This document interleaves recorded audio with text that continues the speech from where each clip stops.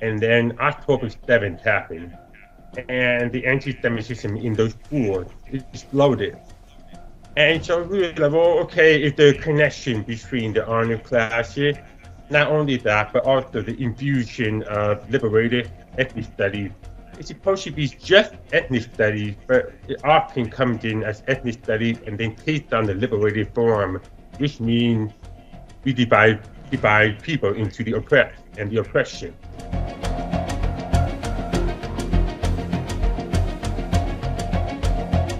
Welcome to another episode of Counterculture, the show that stands at the intersection of reason and faith in the battle against sentimentality. On the surface, Eli Steele would be the ideal poster child for America's present suicide pact with identity politics. He's black, Jewish, and deaf. Eli's great grandfather on his father's side was born into slavery.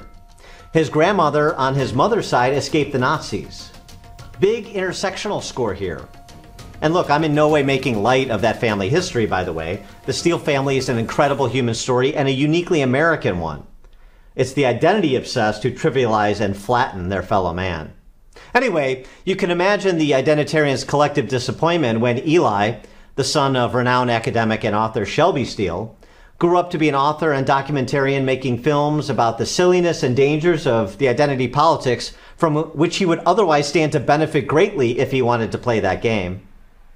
In his documentary, How Jack Became Black, Eli chronicles the laborious task of enrolling his son, Jack, into the LA public school system, where he's required to check a box for his son's race, but he doesn't want to do so.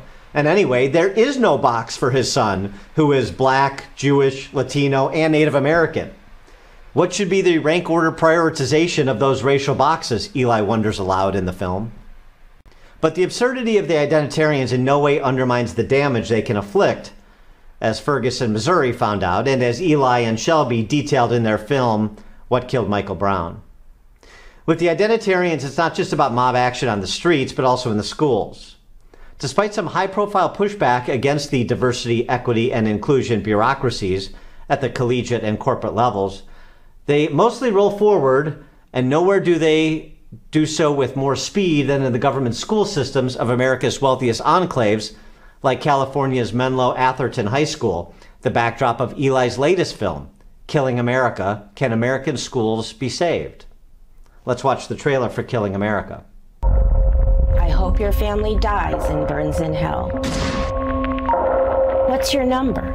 Show me your arm. It is a swastika. I'm not sure why. That is very upsetting. Anti-Semitic. Anti-Semitism. It's discriminating. Acknowledge the white fragility in the room and do better. Many high schools across America placed racial equity before marriage. Focus president thinks there are too many Asians. Welcome to our Wednesday, November 15, 2023 board meeting. Socialist America. Ethnic studies jumped the lab into the larger society. So they can take their ideas about settler colonialism and they can indoctrinate a generation of activists. Radical figures as the heroes. I believe Israel has no right to exist. You don't learn about Martin Luther King Jr.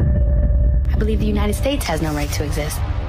Black people are faster than white people. Racial equity. African American students, only 10% can pass the standardized test. Racial equity. Ethnic studies as a graduation requirement. Racial equity. We are not doing this. Not doing anything is having no or direction. Racial equity. I'm brown, but I have white values. What does it mean to be black? If we lose the opportunity that the United States provide, we have nothing. That's why Jews are hated so much. We refuse to be victims. We've forgotten to celebrate what we have in common. We are Americans. But are we?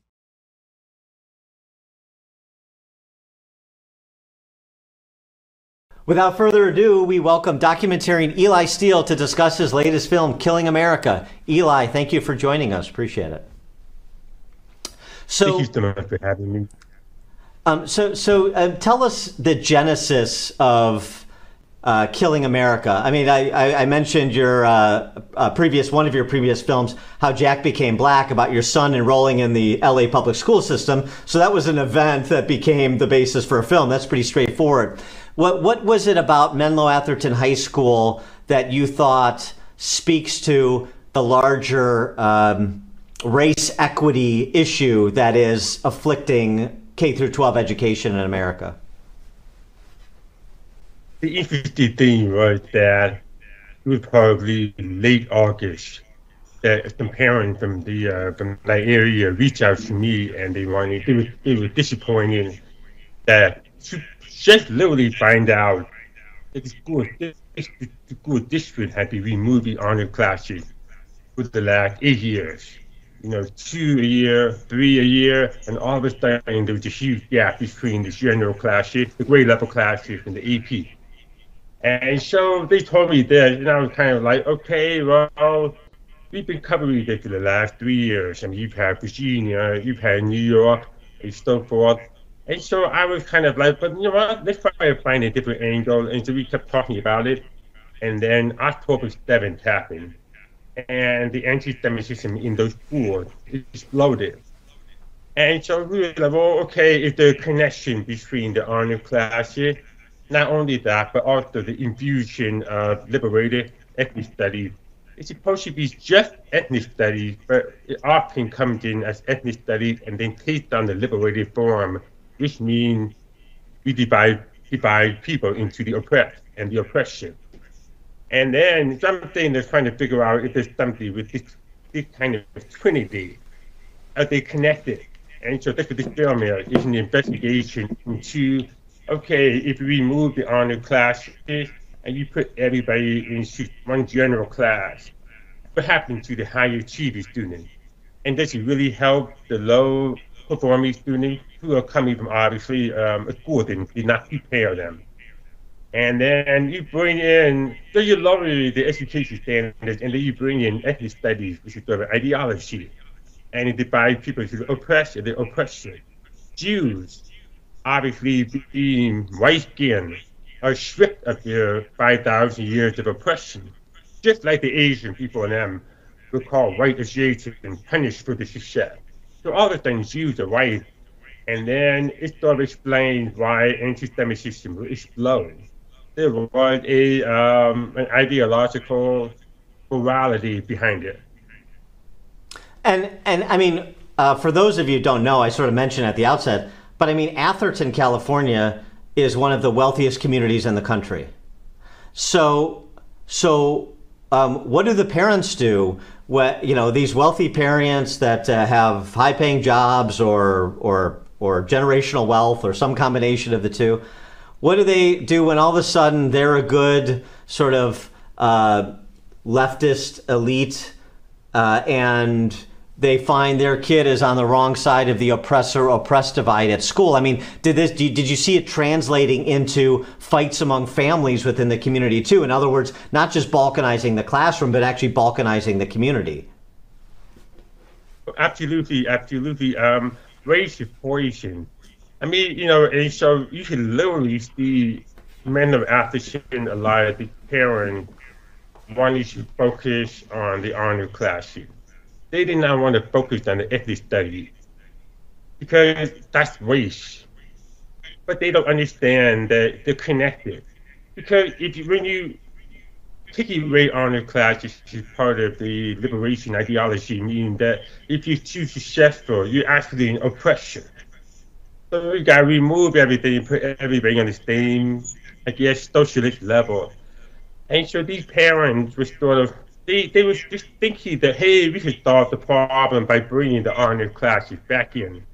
No, it's all connected, and I think that's where they sort of to realize, and, and it um it kind of been painful for them in a way because they do derive a lot of value from being good, from having the political, which tends to be more of a, uh, liberal leftist um, identity, and do they get that pride, especially these Jewish people it was a shock for them to learn that they've been sort of betrayed by this movement and to this sort of kind of trying to find some sort of meaning, some sort of salvation, because for some reason to go to the other side to become a in the middle or go to the right is they can't do it.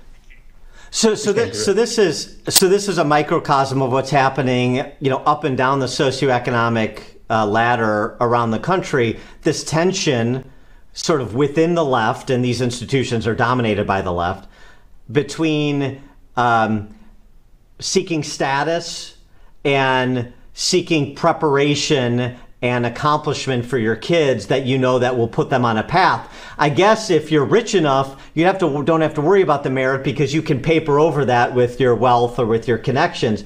But I just I just wonder how you see that tension playing out. I want the status, but I want my kid to get the best education like I got and be prepared to compete and be successful on their own terms.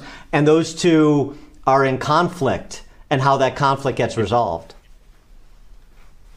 That's the question because um, there, there's a, um, a 17 year old boy that we, uh, actually young man that we interviewed, um, Jacob. And Jacob is the trustee, a student trustee on the school board. And um, he has, he states in the film that, yeah, the parent could pay that $500, that $2,000 to take um, honors chemistry, honors physics, honors English. So in other words, they should keep the kid on track um, outside, you know, outside the school. And so you get now one thing that people need to understand is that Menlo Atherton is very wealthy, and on the um, on the west side of the 101, that's where the wealth is. On the east side of the 101 freeway in East Palo Alto, it's a completely different demographic. Working class, largely immigrant, when I was a kid, it was mostly black. And now it's a lot of immigrants. So how do you take these two very different schools? Because the one in East Palo Alto is performing very badly, about 13% proficiency in reading, 6% in math. On the other side, it's 85% in both. And then you want to take these two very disparate outcomes and put them together in the same classroom. And, and yes, the rich people can um, can sort of cover up with that. They can take care of their own kid. But the question, though, is it's a public education system. Public ed- education, if it's done right, lift up the entire community. It, it creates future employees. It creates future talent. And to be people who may be sort of escaping the bullying now, um, you know, um, you can't. You should kick the can down the road, but not for that long. Well, so this is, you know, that in the trailer that we played, um, you know, you hear your dad's voice, Shelby's voice, repeating that phrase, race, racial equity, racial equity, racial equity. And one of the takeaways, and, and you know, I, I, I, I hate to presume people pay as close attention to this as I do or you do because I just don't think they do. Um, but one of the, the, the, the, one of the takeaways is that is a mutually exclusive choice. You are either going to go with racial equity or you're going to go with merit, and there is no in between. No, um, it, it's total opposite forces. Uh, you know, like as you mentioned in the opening, I come from multiple races. And I think my father had said one time that he is also has a white mother and a black father, and that sort of demystifies race for you. And so that's why we really understand the race is about power.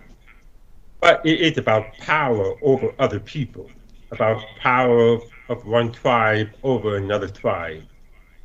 Merit is the ultimate power. Merit is America because merit is the power of the individual.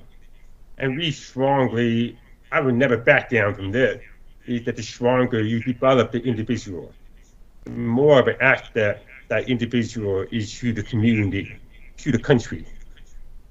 When you have racial equity and when you lower these standards, you're creating weak people. And I mean, there's no other way to look at it and that is the travesty of what's happening in Menlo Atherton because I did ask when we had we showed the film last Saturday and I made the point that okay, this district spent the last eight years removing honor classes in the name of racial equity. What did they do in the last eight years to lift up um, the schools in East Palo Alto? Nothing. East Palo Alto gets more money per student. If you see, if you look closely at the drone footage of the schools, they're remodeling it. They're, it's a brand new campus. It's beautiful. Money has nothing to do with it. I mean, my, my grandfather had third grade education and lived in segregation for 90% of his life. But he learned how to read every book. So, so that don't I don't buy the line about poverty. I mean, we have public libraries, we have resources everywhere. So uh, you mentioned the screening last week. So I'm interested to hear. I mean, this is this is, this is a screening where you know the backdrop of the film, the the high school. So this is right there. I'm interested to hear like what the differing reactions were to the film from sort of the the stakeholders in the school, like the administrators and the teachers, versus maybe some of the parents and the students who are also stakeholders, but but not in you know don't have the same authority. I wonder you know those that are very protective and probably defensive about what they're doing versus maybe parents and students who are a little bit in the dark about what's happening or don't have the full story and feel like maybe they got more of the story by watching your film. Yes, and uh, I think that's one thing that I always do because I'm obviously making films in very controversial areas. So I try to take sort of a dispassionate approach. It's got to be entertaining. I mean, entertainment, but it has to be dispassionate. And so we spend a lot of time just literally showing you the PowerPoint that the teacher used to sort of to paint Israel in the false light. She's the ethnic studies teacher, so we show that we show the numbers, we show all of that. And it's very difficult to disagree with that because that is what the school produced. Our crime if they were showing it. And so I think a lot of the people that attended the film really, really enjoyed the film, really um, thought it was powerful. The biggest complaint that it was too short. but which, is a good thing, which is a good thing. Um, yeah, uh, I mean, look, it was it, it, was expected to be only like 10 minutes short. That's all we were supposed to do. And so 38 minutes was a lot longer than we planned for that. Um, but the thing was that we really just wanted to show, okay, here's the school board meeting. They're boring. But, we, but my intent was to go into the details and really pull the details down to show you how it actually works. And I think that's what people really appreciated because they appreciate the fact that it wasn't manipulated, that it was just very factual. Um, and then, of course, you, you get the people that um, have not seen the film. And so we got a very um, interesting email from the principal of uh, Menlo Atherton High, who slammed the film as propaganda and completely ridiculous. But here's the catch he based that on the trailer. He and the school board and various other people were invited. He said, hey, come on, we have nothing to hide. Come watch the film. They didn't do that. So instead, they do the same performative, very traditionally, hey, you know what? These people are evil. These people are, uh, for what? Okay, so you, but here, that's what pissed me off because you have a teacher that literally lied uh, and, but a Stanford graduate, a Stanford graduate, Stanford should be taking the diploma back. Because, I mean, come on, you can't produce that kind of incompetence. But we are ridiculous, and she's not. The, the, the teacher lied. What was the lie that the teacher told that you memorialized in the film? It was various things. I mean, she then um, she quoted quoted United Nations as saying that the creation of Israel was illegal, which never happened. And she also said, she described uh, Hamas as uh, people from Gaza. I'm kind of, I don't have a direct quote, but that's pretty close, as people from Gaza, instead of, you know, terrorists. And she also said that Hamas attacked uh, idea children no, the primary target were the, were the civilians. And I mean, on and on. And so what she really did was she introduced the whole framework, uh, the dominant narrative, which is the oppression narrative, and the uh, armed resistance narrative. Which is the yeah, narrative. That... So she points into that. And once you do that, you, you lose on complexity. Because it is a complex subject. You have history, you have, uh, I mean, I think that's the beauty of getting into the complexity of it. Um, that's really, really learned about humanity. That's really learned about difficult choices. When you put a false framework onto it, you oversimplify everything, and then you make everything about color. And truth goes rare because the truth will always be on the side of the oppressed. So, so um, the parents who came to see the film, what did they say when they saw this uh, display, like the uh, the the instructional uh, uh information she was using and the things she was saying that you were describing? Uh, were they like, "I can't believe this is going on in the high school, and we're going to do something about it," or what was the reaction? Yeah, what they knew about the um, about the um, about the uh, presentation long before our video there's articles written about it. Let me let me just maybe go into a microcosm and just kind of maybe focus on the Jewish community part of it. But to the credit of the larger community, there was Jewish parents and non-Jewish parents that objected to the presentation. So I was happy to see that. The principal, however, seems to have led this investigation to kind of nowhere. Yeah, and so um, and that's what was really frustrating to the parents. It's just going like, yeah, yeah, yeah, yeah, and then nothing happened. The teacher apparently went on leave because of harassment from the parent, but she's still teaching. So which one is it? You're playing the fiction, but you're still teaching. I don't know which one is. And then what was the other thing? Um, yeah, so they so the parent and so now I think the Jewish community is divided over whether they want DEI out. They want to, and because DEI, the problem with DEI is that not every group is treated equally.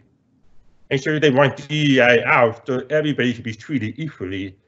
The other side either want DEI or DEI life. They think that they can work some of these Jews want to jump into the oppressed box which is not going to happen because I mean that would that would just break everything apart, and uh, they don't understand that. They don't really understand the nefarious, the nefarious forces behind all of this. They don't understand the history that is be going on just in 1960, and they really don't understand the Hamas when they attacked uh, southern Israel on October 7. We're counting on that. They were counting on liberation ideology. When I was in Ferguson, I kept I was shocked by the Palestinian uh, the Palestinian uh, question. What do, they, what, what do they have to do with that? Well, now you see, it's all related. Solidarity and marginality, uh, real or perceived, yeah. mostly mostly perceived, and it's right. It's the it's the um, sort of grotesque dynamic where people who you know live in the wealthiest one of the wealthiest communities in the country are i want to be in the oppressed category too. And then uh, other marginalized can be saying no you're not a, you don't look like me so you can't be oppressed. And and arguing about who gets to be oppressed because uh, of course nobody wants to be characterized as an oppressor. I mean this is the state of k through 12 education uh, in so many respects. That's an oversimplification but i mean uh, you know boil down this example sort of speaks to it. So so when you say that, you know, killing America, can America's schools be saved? This is what you're talking about, right? Because this is this dynamic, some iteration of it is happening virtually everywhere. Yes, yeah. I I mean, you know, you know, you know my work, you know me, I know you too. And when I interviewed the teacher that was undercover, um, we had to blur his face out, um, change his voice, I was so depressed because he basically was just that we should been removing merit. Um, one example that he gave was something that sounds very normal. It's called standards based grading. So I I look at that and I think, yeah, that's standard, right? 90 to 100 percent is the A, 80 percent to uh, 100. I'm um, 90 is the B. That's, right? That's the standard. No, it's like the Democratic the Democratic Socialist Republic of North Korea. It's a lie. It really, right, it's actually a new, uh, a new standard, which is sort of be suggested and sort of heavily pushed upon the teacher. So under that under that rubric, 80% to 100% is the A. 60% to 80% is the B. 40, so there's no more failure. No more failure, nothing. And then you remove the SATs, you remove the ACTs. What the hell you judge people? Well, then one, one kid told me, well, you know, before the affirmative action, uh, the Supreme Court thing on the affirmative action, Asians would get punished, right? They would get point taken away from them. Well, today, under the new under the new standard, if you're black and you don't submit a standardized test to the college, nothing. You're fine, nothing. If you're Asian and you don't submit, you get punished. They should flip the model. It's still going on. And so my point is, so, all of this is kills America. We should lower the standards to meaninglessness, and then the, you have parents sort of not wanting to get involved. Well, then who has all the power? Who has all the momentum? So, what's the thread, uh, if there is one? I think there is, but I want you to describe it if, if my intuition is right. What's the thread between uh, your dad's work, White Guilt, most notably, um, how Jack became black, your film about your son, the film you and your dad t- did together, uh, What Killed Michael Brown, and Killing America. Is what, what what's the what's the thread that uh, that binds all of this work together? Uh, your work as well as sort of the generational work of your family. Yeah, um, uh, great question. I think it's white guilt. I mean, it's so simple. A lot of people think it's Marxism, they think it's socialism, which is true. I mean, those are the forces. But what is the grease? What is the force that makes that possible? Because if you look in um, the Brotherhood in the 1940s, you know, the communists, they used the racial injustice, right? They used the injustice of racial supremacy to try to win over blacks. Well, they do, they're doing the same thing again. And this is if you want to be on the right side of history, if you don't want to be a racist, if you don't want to be a white supremacist, if you don't want to be part of, if you want to, don't want to be part of systemic racism, you must join us. You must, you must dismantle this whole system, literally. I mean, it, that's what they're doing. I mean, when you when you say the greatest system, you are dismantling the system. And so white guilt is the thread. White guilt is everything, and white guilt is literally what is killing America. Because um, if we are unfairly or not, we Americans today have, have the challenge of trying to deal with the history of oppression, four centuries of oppression. We are literally, I mean, we're only 70 years out of that. And so that's what's going on here. We're trying to deal with that. We're trying to figure out a way around that. And unfortunately, people have decided to seize power by using white guilt to engineer the new vision of America, which is not our version of America. Yeah, so white guilt is just everything. I mean, it really is because when you have somebody, when a parent, oh, I'll give you another point. Everybody in the in the short film is an immigrant or a standard immigrant or a minority. None of them were the um, the Americans, Americans to be here for six generations and stuff like that. Those Americans need to step up well, right. I mean, the, the, the reference you made to one of the subjects you interviewed, the teacher who was describing to you how they've uh, methodically removed merit from the system, from the grading system.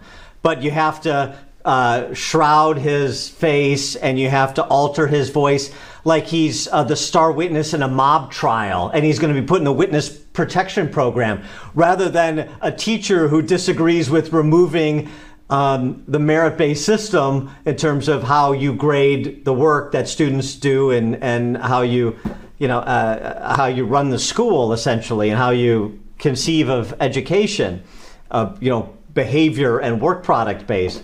But i mean you know that, that, that whole thing and, and I, I don't know about you but i'm just so tired of hearing people who know what is wrong uh, that are I guess they're willing to do more than most, but I'm still sick of hearing it. I, I, I would I would do this, but I'm afraid. I, I would tell you straight away. I wouldn't disguise my identity, but there are these repercussions and, and those repercussions, as if like you being afraid to speak the truth um, and defend your professional integrity at the same time, not to mention the interests of the kids in your charge and the families you're supposed to serve like like being afraid is some legitimate cover story for being a coward for being silent i think that's something that we have to really attack too and say, uh, and say stop saying like i understand that no actually i don't understand that i don't accept that as an excuse oh no i i'm, I'm tired too i'm tired because you know, my family's been in this fight too long. I just want to go fishy. like I don't want. Yeah, yeah I, mean. I don't want to deal with it yeah, and um, I would I want to give one. I, I, need to give a big shout out to Diana, Diana Blum, who is the star of this of this film. And Diana is starts off, you know, as a very uh, a liberal woman. Um, she's a very she's a doctor. She's an amazing story. She was born um, in the Soviet Union, came here as a, uh, as a young child to escape anti-Semitism in the Soviet Union. That's why she's shocked to have a father her to Menlo Atherton High. And this is the woman that was born in poverty, lived in poverty in San Francisco, and lifted herself up. She got into a American High School, Lowell High School, lifted herself up and became a doctor. I mean, come on, that's the American dream. And but she was a liberal. And so she had to deal with that. And it was the it was the injustice, it was how other people behaving and she saw that and she really said, you know what? I'm sick and tired of this. I'm I'm done. I'm gonna do what's right and I'm gonna pay the price. And guess what? She has two young daughters, beautiful, intelligent daughters. And and, she has the husband that also has a job too. So they're all putting everything on the line for this film. And that's what we need more of. These are the people that will preserve America so you should see the contrast between that family and other families. My family went through the exact same same thing in 1990 in the exact same neighborhood, just about 30 miles down the road. So for me to come back and show my film in that area, which would never happened about five years ago, is a positive direction. I think it's a positive step forward, and um, you know, should keep pushing. Yeah, well, I mean, um, you know, cowardice is contagious, but so is courage. Um, and so, you know, you, you know, provide an example that other people can emulate and and try to ignore the ones that you shouldn't emulate. But anyway, um, so so yeah, so I was that's where I was getting to. It's interesting you say that you see positive movement, and this film is is um, testimony to that. So from uh, how Jack became black several years back to this film when it comes to people standing up when it comes to people saying i'm not i'm not i'm not going to participate in the race hustle. I'm going to push back in my own way where i can. Do you see do you see th- that on the rise. I know we see these you know, sort of one-offs. University of Florida gets rid of their DEI programs, and some corporations are walking back some of their DEI bureaucracies, but they all seem very one-off. It doesn't it doesn't give an indication of which direction really this is going. And so I wonder, since you um, have traveled the country doing these films and talking to so many people, you know, do you get a sense of where this battle is and and uh, where the, the, the lines are drawn today as where they were maybe 10 years ago? Yeah, yeah. I mean, I, I'm an American. So I think being American is you always have to be um, optimistic. Even if the country is going down, you fight for it to the end and with a smile and on your face. I mean, it's such a great country. I mean, my family would not eat this without the country, period. And I think the huge positive is that everybody in this film is the liberal and that would never happen. Um, and so these people are waking up slowly, and but when they wake up, they wake up, and they, they can't go backwards. And so that's a huge positive for us. And I think that's why we just have to keep pushing, keep pushing on principle, keep pushing on principle. And what's going to happen is the other side has no real argument. They should say the same thing over and over. And we kind of know now that the charge of racism it getting weaker and weaker, which is great because in order for America to rise again, white guilt and the power that can be made off of it has to go down. And, and so that's what we need to do. So if somebody calls you a racist or something like that, you just have to go, nah, just fool, fool you. And the main thing here, though, is and some white people make the mistake of doing that. They fall back into the white identity. They they thought they well, I'm a victim as a white person. No, you you've lost the battle the minute you pick up the race. So you have to. The way I say is you have to fight uh, as an American. Now, uh, because that is America is principle. America is not race. There is no color to America. America, the American identity, the American principle, are so far more inclusive, so, so far more diverse than any form of racial engineering. I mean, that's just a fact. But the problem with it is there's one problem with the American principle. It's not fair. It's hard. It's brutal. It's, yeah, I mean, if you fail, look at my own life. I failed over and over and over. I'm on maybe a 10 year one now. For people that oh man, I was on the bottom. But it was following the American principle. People having faith in me and me having faith in myself and and thanks to great parents who um, developed me into a strong individual. I have power today. And I also have power because I never ever checked the race bar. So that gives me my authority. No, that's a great point, and it's one that a lot of conservatives, frankly, need to internalize because this whole, you know, rail against identity politics, and then you you turn around and you see some Republican politician saying, as a woman or as a black man or as you know this and as that. Well, you're you're you're you're advancing their flag when you play that game. That's exactly right. That's such an important point because you see Republicans and erstwhile conservatives guilty of the same thing. Um, I wanted to just uh, talk about your films again because it's been interesting. You've had some controversies uh, with your films over the years. Uh, how, uh, excuse me, What Killed Michael Brown? You, it was available on Amazon, then it, then it wasn't available on Amazon, then it was again. So I just um, maybe recount that story in terms of you know how uh, what it takes, including maybe for budding filmmakers, to get controversial topics to market in the era of you know, uh, concentrated digital streaming services? Oh yeah, I mean we um, we knew we knew that we would touch the third rail in a way uh, by going into Ferguson and telling the other story. There's about five or six other documentaries that tell the other story, which is the hand of the shoe narrative. And um, but the thing is, I felt that we would be safe by going to Amazon because Amazon positions itself as a platform. In other words, it's not a publisher. A publisher has the right to say no and yes you did. But a platform means as long as you meet the um, conditions you allow onto the platform. With the conditions though, like you, you can't have excessive violence, excessive nudity, uh, language, and stuff like that. Obviously, um, that film didn't have it showing Amazon, when I got a letter from Amazon after Jason Riley published that Wall Street Journal op-ed, which was sort of calling into question Amazon might ban the film because we still had not received notice that the film was to be posted and the film was supposed to come out that Friday. It was a shock in a way because it showed you the power of the um, of the company because it's not a public company. Amazon is a private company and the power of big companies to just all of a sudden um, squash you like a little ant. And like you're meaningless, and then they, and then on, that, on, that, on that email, it's that you cannot appeal that. So I'm like, okay, I'm to take you for your word, but I'm to go to the media. um, I mean, you have a power that we, we have to get the attention.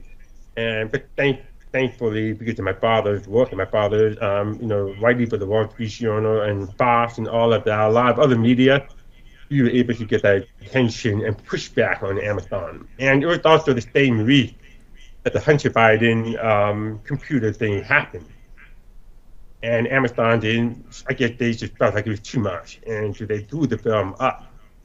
But I think the biggest lesson, the big, and with the film, it did well. I mean, it reached the number one spot. It was in the top 10 for about, about a month and a half.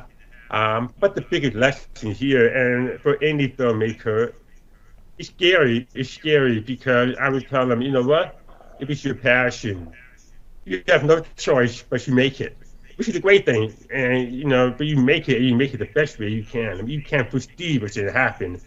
But what the danger here, though, is you spend two. I spent two years, about three years of my life on it. I did nothing else. Three, three years of my life on it, and they should just erase it. Well, then why would any other filmmaker do that? Make that, and I was getting paid like what? Not much. I mean, not much at all. So, but the, and that's pay my bills and stuff like that because we was putting all the money into the um into the film, and so that's what, and that's the biggest danger, and that's where Amazon really violated the um the trust of the public and the trust of the artists. Because okay, if you want to make a liberal movie, if you want to make a movie that stays. Look, by the way, I don't really consider my movie should be conservative or liberal. It's factual. We, are, we, my father takes a very existential view of life. This is what is happening. There is white guilt. There's massive guilt after four centuries of oppression. That's just a fact. And these people came into Ferguson and they exploited that guilt for power. All we did was point that out. Right. No, and, I mean they're, they're uh, yeah. Yeah, they're explanatory. And I mean, if you have a different theory about what happened in Ferguson or what's happening in K through 12 education, that advance your theory. And you know, uh, whoever gets persuaded in whichever direction. I mean, that's how you're supposed to flesh things out in a free society. Not you know run around trying to silence people you disagree with. I mean, it seems pretty basic, but this is a concept that a lot of people in 2024 America don't seem to be able to grasp. Um, so, all right, so the films uh, for, again, uh, Eli Steele's oeuvre, uh, How Jack Became Black. Uh, what Killed Michael Brown, and now Killing America. Uh, Can America's Schools Be Saved? And um, uh, I know you're doing screenings for Killing America, and people can get information on the screenings at manofsteelproductions.com, right? Manofsteelproductions.com. And then, and then we'll also find out what how uh, the film, how Killing America is going to be distributed at some point during the process of getting a distributor, right? Yeah, I would add that um, you should go to Man of Steel on the Substack and I do a newsletter about once a week, have all the updates. And one other point, though, is the Killing America is actually part of the feature length documentary that I'm doing my father, White Guilt. And I use this um, Killing America, as I mean, Killing, Killing America as a way to sort of understand the aftermath of um, October 7th, how the world was changed, and how we had the very first almost active liberation firing. So now we've crossed that Rubicon, and we've actually seen it happen. We've seen the college campuses justify that. Well, what made that possible? White guilt, because white guilt just squeezed the road all the way down to that. And the Palestinians understood that. They understood that that was their power. It's just a lot of blacks, uh, like Al Sharpton, understand that in America. Iran understands that. That's why they say America's a racist country. When they're, you know, uh, throwing gay people off the roof, when they're, uh, you know, putting women in jail, but just trying to uh, show their hair. I mean, the society completely flipped. Anyway, anyway everything on the um, would be on the man of steel uh, stuff. That that's probably the best way to follow this.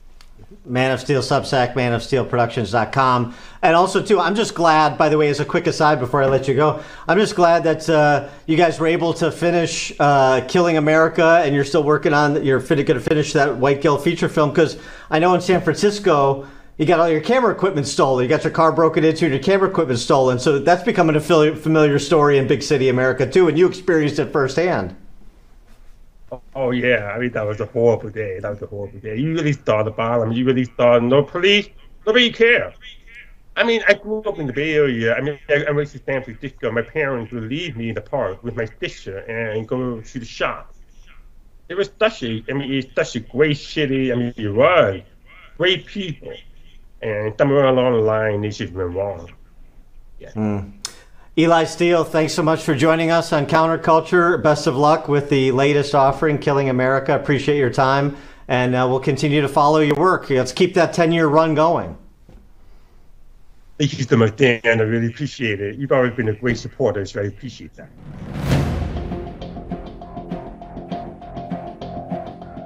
Please like this video and subscribe to this channel if you haven't already. And please leave a comment in the comment section. We'd love to hear your thoughts.